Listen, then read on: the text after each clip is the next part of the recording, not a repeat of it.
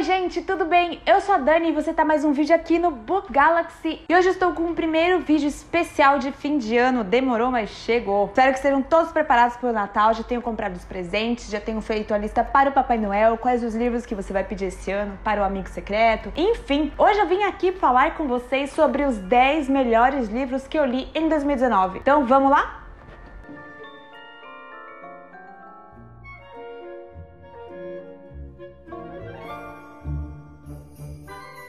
Passado, né, 2018, eu preparei uma lista de 5 melhores livros e 5 piores livros. Mas esse ano eu li tanta coisa que eu pensei, 5 é pouco. Eu acho que eu vou homenagear mais, né, os livros bons que eu li e fazer uma lista de 10. Gente, já começo também esse vídeo ressaltando que são opiniões puramente pessoais. Minha experiência com os livros pode não ter sido parecida com a sua. Então, vamos lá. Décimo lugar nessa lista, eu trouxe Filme Noturno da Marisha Pessel. Eu falei desse livro em alguns vídeos aqui no canal. Mas o que, que eu gostei tanto nesse livro, pessoal? Ele me surpreendeu porque eu gostei muito da capa. Eu comprei ele por causa da capa, mas conforme eu fui lendo, eu fiquei muito imersa na aventura, fiquei muito imersa nos acontecimentos. Eu gostei muito da tríade de personagens principais que aparecem. São personagens muito diferentes que acabam tendo que trabalhar juntos de uma maneira inusitada, assim. Eu gostei muito disso, achei que a Marisha Pessel conseguiu unir esses personagens de uma forma convincente. Para mim, me pegou de jeito esse livro. Eu li, eu acho que numa época muito boa e me pegou e me fisgou. E eu adorei esse livro. Eu recomendo para vocês. Nono lugar dos melhores livros de 2019, eu trago A Paciente Silenciosa do Alex Michaelides. Esse livro aqui, gente, eu gostei tanto que eu fiz até uma resenha. E esse livro aqui também é um thriller psicológico, na verdade. Você acompanha uma personagem principal contando os fatos e acompanha outra personagem por meio dos diários dela. Tem um plot twist que eu achei bem digno. Teve gente que falou, ah, eu já adivinharia esse plot, mas para mim foi um choque mesmo. Eu fiquei tipo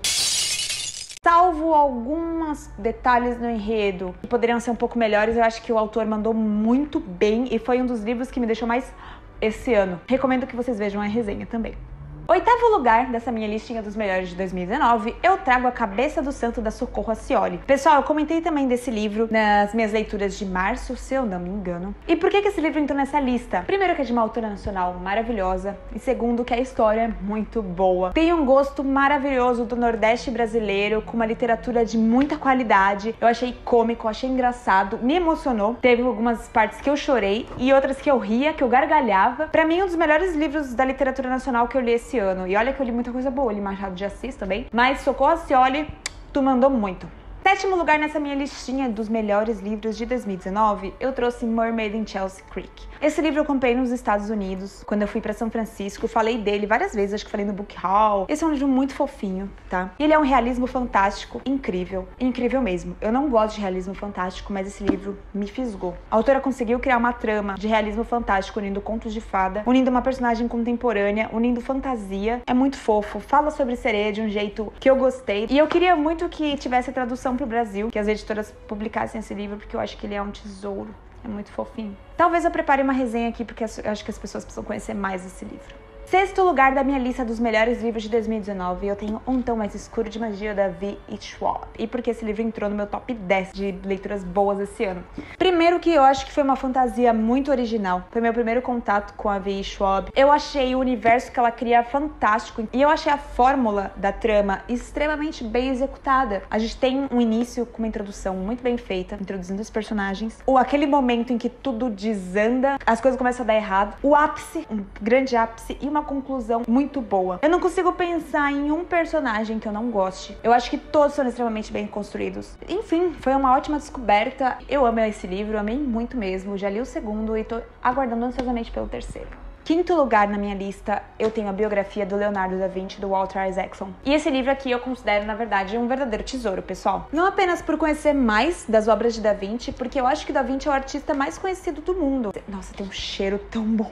Meu Deus, esse livro tem um cheiro fenomenal. Mas o que eu acho muito bacana também é que a gente consegue conhecer um pouco da personalidade do Da Vinci. De fato, ele tinha uma personalidade tão forte, tão marcante, e mesmo 500 anos depois, né, da sua época, nós conseguimos juntar as peças através das suas obras e das suas milhares de anotações e conseguimos ver como é que ele realmente de fato era, né? Então a gente consegue acompanhar o jeito que ele escrevia, os pensamentos dele, ele tinha diários. Então, através das suas obras aí, zilhares e dezenas e centenas de anotações que ele deixou. O trabalho trabalho do Isaacson nesse livro de pesquisa, de reconstituir os fatos numa linha do tempo, de se aprofundar em certos aspectos e estruturar o livro, é notável. Esse trabalho do Isaacson foi notável para mim e foi uma das maiores experiências de leitura que eu já tive. É um tipo de livro para você ler e saborear aos poucos, porque ele não se trata só de uma biografia, mas ele se trata de muita história, mas principalmente ele se trata de arte.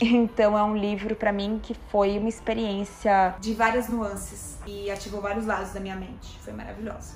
Em quarto lugar, nessa minha listinha dos melhores de 2019, mais uma biografia, mais uma do Walter Isaacson e a biografia do Steve Jobs. O Walter Isaacson realmente é um biógrafo brilhante, mas eu acho que o que foi o toque maravilhoso desse livro foi realmente entender não só a história da pessoa Steve Jobs, mas na verdade da empresa Apple, da cultura Apple, e entender do ponto de vista de produto, do ponto de vista de empreendedorismo. Para mim, que sou designer, foi uma leitura muito rica. Marquei aqui várias passagens. E por que que a Apple é essa referência? É por causa desse cara aqui, gente. Ele era uma pessoa difícil, ele era uma pessoa peculiar, difícil de lidar. Mas a preocupação dele em entregar sempre o melhor era genuína. Então eu peguei várias lições aqui de empreendedorismo dele, várias lições de como nós podemos nos impulsionar a ser sempre nosso melhor, a dar o nosso melhor, qual a nossa melhor versão. É isso, essa é a maior lição que eu tenho desse querido Jobs. Em terceiro lugar, eu tenho mais um livro da minha querida nova autora preferida, Vi Schwab, e é Vilão. Que gostoso esse livro, gente. Que delícia que foi ler Vilão. Experiência gostosa, eu li ele muito rápido. Eu amei esse livro muito, eu fiquei obcecada quando eu li. Eu não conseguia parar de pensar nele. E por que, que eu gostei tanto de Vilão? A fantasia, eu achei ela muito, muito criativa. De novo, a Vi Schwab, ela cria mundos, ela cria... Ela vai além, porque eu acho que hoje o mercado editorial de fantasia tá tão saturado, a gente sempre vê mais do mesmo, sabe? Tipo, ah, lobisomem, vampiro, ou fada, ou, ou pessoas com poderes tipo de X-Men, e ela vai um pouco além. Esse livro, na verdade, eu achei que ele mais fantasia, ele é ficção científica. As coisas acontecem com uma visão científica, assim. E, gente... Que PQP, que personagens. Os dois personagens aqui são muito bons. Gente, esse livro aqui eu amei. Eu não tenho o que falar, só que ele é sensacional e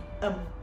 Chuchu. Segundo livro aqui dessa minha listinha dos melhores de 2019, eu vou trazer um livro que me marcou muito. E eu falei exaustivamente dele aqui no canal e é Os Miseráveis. Eu não vou me delongar muito, porque eu fiz vlog com duas partes. Eu falei desse livro, tipo, muito. Mas apenas esse livro marcou minha vida para sempre. E eu chorei muito. Fazia tempo que eu não chorava tanto. Eu li. Gente, eu chorei demais. Se você assistir a segunda parte do vlog e ver no final que eu não conseguia nem falar sem chorar. Fazia tempo que eu não ficava emocionada de verdade com um livro nesse nível, assim, meu chuchu.